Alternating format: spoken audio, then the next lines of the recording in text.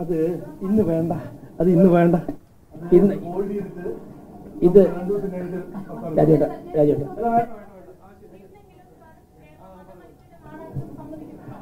മോളെ ഇന്ന് വിശ്വാശംസ നടത്താൻ വേണ്ടി അത് പത്രസമ്മേളനമാണ് അല്ല ഞാൻ പറയാം ഞാൻ ഞാൻ ഇലക്ഷൻ കമ്മിറ്റിയുടെ കൺവീനറാണ് ഇന്നത്തെ ഈ മാധ്യമ സമ്മേളനം വിഷു ആശംസ അർപ്പിക്കാനാണ് താങ്കൾ ചോദിച്ച ചോദ്യത്തിന് നമുക്ക് നാളെ മറുപടി പറയാം.